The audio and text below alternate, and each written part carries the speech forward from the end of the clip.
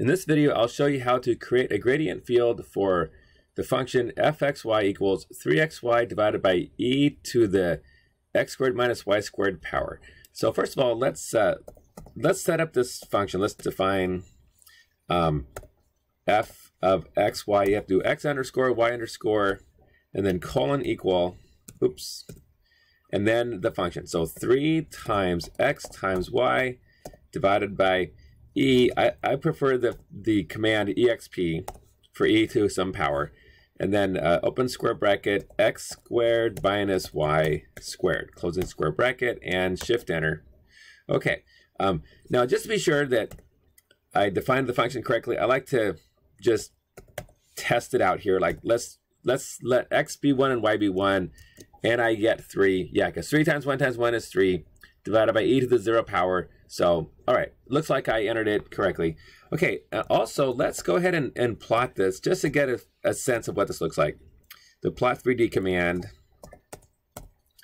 um, although that's not going to help me with the gradient field, but it's nice to have a sense of, of what it looks like.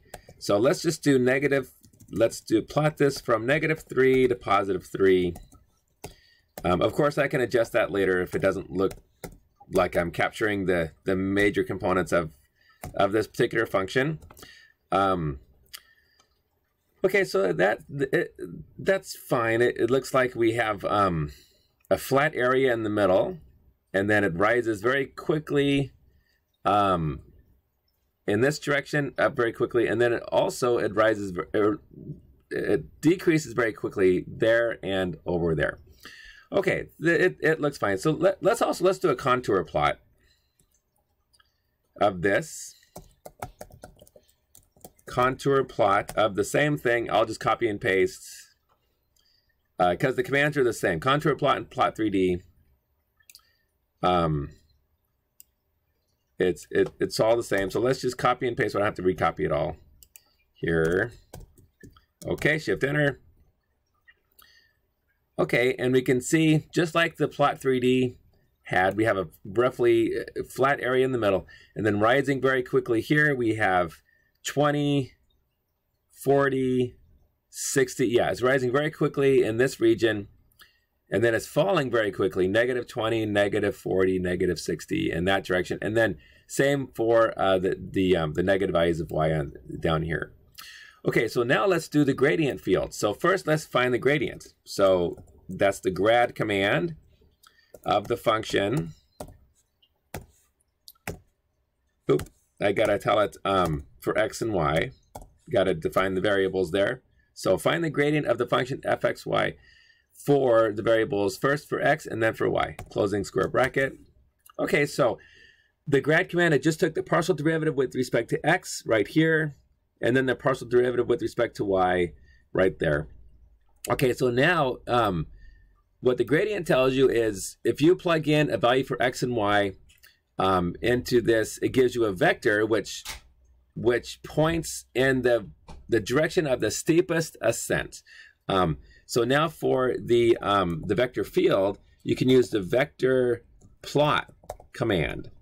Um, vector plot it gives you a vector excuse me, it, it gives you a graph of of the vector. In other words, um, for every single xy coordinate, it get, draws a little arrow pointing in the, the direction that it's supposed to be pointing in.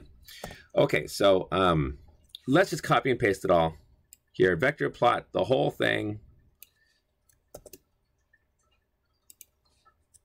Okay, and then um, just like with the plot 3D and contour plot commands, you have to define your your range for the x's and for the y. So let, let's just copy and paste that as well. So x will go from negative 3 to positive 3, and y will go from negative 3 to positive 3 as well.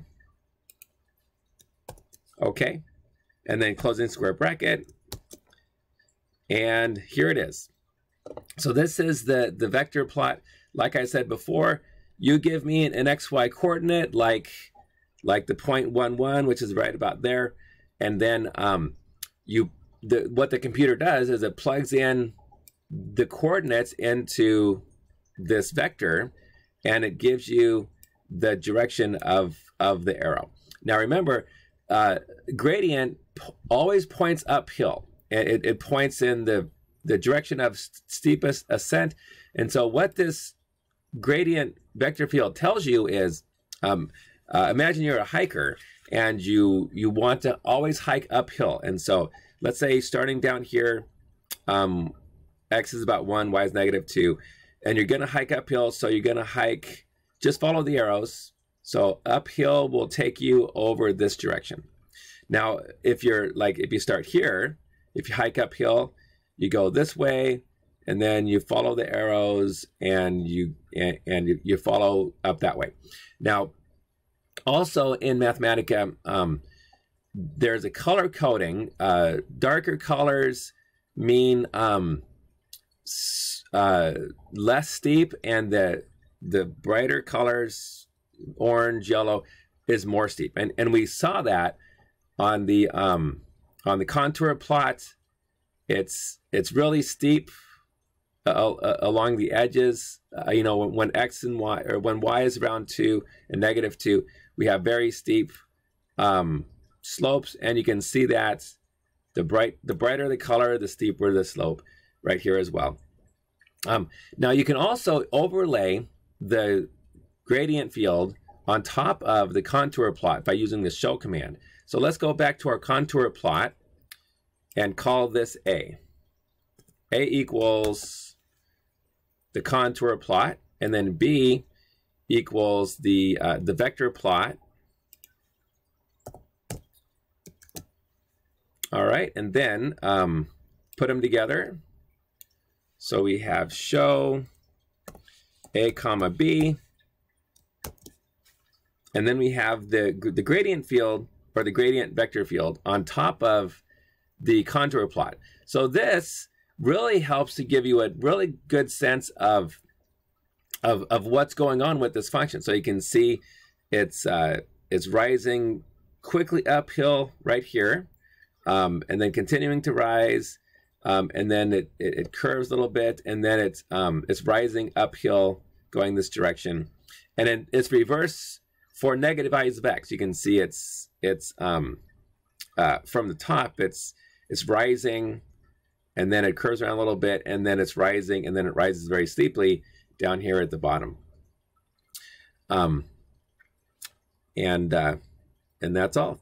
Oh, oh, oh, actually, there's one more thing, and and also notice that one property of gradients is they're always perpendicular to the to the contour line, and you can see this arrow's perpendicular, this arrow's perpendicular, um, these arrows are perpendicular to those contour lines as well. And uh, and now I'm done. Thanks for watching.